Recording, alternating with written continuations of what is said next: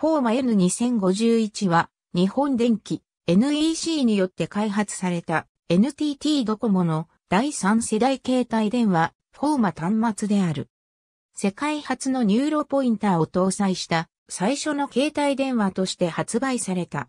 インカメラを内蔵しているが、テレビ電話には対応していない。カメラ性能はメインカメラが CMOS35 万画素31万画素、テレビ電話用のサブカメラが CMOS10 万画素。i アプリは MOVA N504i と同等のものに対応している。外部メモリーには N2001 と N2002 に次いで非対応となっている。ソフトウェアの基本設計は P2102V と同じものが使用されている。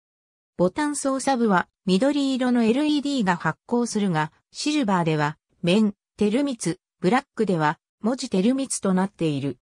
リアカバーは電池パックと一体型となっており、卓上ホルダー用の金属端子がリアカバー側に設置されている。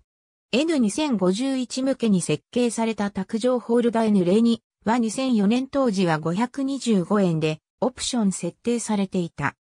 バックトゥーザフューチャーサンダーバード木星ジムノペディ、ラデツキー行進曲、ジュトゥヴ弦楽セレナーデサマータイム天国と地獄トロイメライ黒電話遊具があと、メールコーリングハウスアンビエント発表。とほほキラキラ。ありがとうございます。